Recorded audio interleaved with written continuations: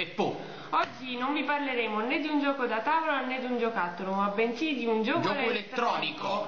Si tratta di Lives Out eh, della Tiger distribuito in Italia dalla GIG. È del 1995 e funziona con tre batterie eh, AA.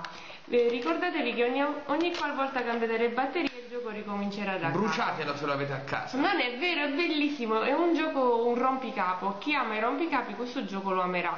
Io non so se è diciamo diffuso o meno perché io ce l'ho da quando sono piccola perché mia zia mi regalava sempre dei giochi che non andavano per niente di moda in quanto li trovava in sconto.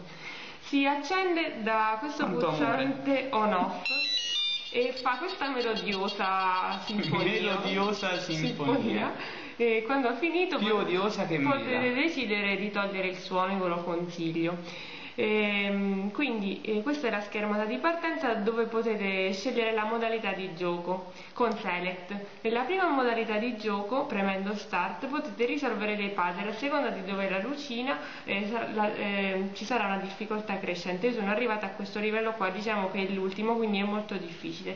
Potete chiedere eh, per le prime due mosse aiuti dal computer premendo il tasto Help.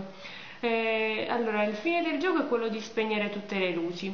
Eh, come potete vedere, se io premo questo pulsante qui che è spento, si accenderà sia lui sia tutti quelli intorno a formare una croce. Se io invece premo questo pulsante qui che è sempre spento, eh, si accenderà, ma si accenderanno anche quelli vicini, ma se uno è acceso si spegnerà. In questo caso si spegneranno i, pu- eh, i pulsanti attorno e eh, il pulsante che premo si accenderà e così via. Secondo questo criterio dovete riuscire a spegnere tutte le luci. Nella seconda modalità di gioco, invece, come si fa? Ok. Col select. Sì, col select eh, ri- risolverete vari rompicapi relativi al vostro livello di gioco eh, nella prima modalità di gioco. Quindi se nella prima modalità di gioco vi troverete a questo l'ultimo livello, anche i rompicapi nella seconda modalità di gioco saranno relativi a quel livello lì. Interessante Mm, invece la terza modalità di gioco che si sceglie sempre con Select, in questo caso potete fare voi il, il vostro puzzle personalizzato e per farlo partire premete Start. Il manuale consiglia però di utilizzare vari puzzle già preimpostati perché a questi ci sarà sicuramente eh, un- Una soluzione. una soluzione e molti invece sono senza soluzioni.